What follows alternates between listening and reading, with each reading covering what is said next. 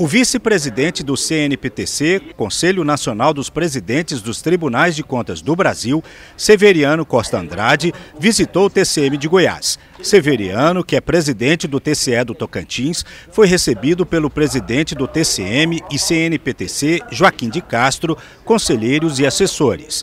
Foram discutidas governança e tecnologia para o fortalecimento da fiscalização, controle social e a realidade financeira nos municípios. Severiano defendeu maior presença dos tribunais nas discussões do Congresso Nacional, já que as cortes conhecem as receitas e demandas de perto dos estados e municípios. Os tribunais de contas têm um papel preponderante, porque nós temos a responsabilidade de fiscalizar e, acima de tudo, controlar a aplicação dos recursos públicos nos nossos estados e nos nossos municípios. TCM, o Tribunal a Serviço da Sociedade.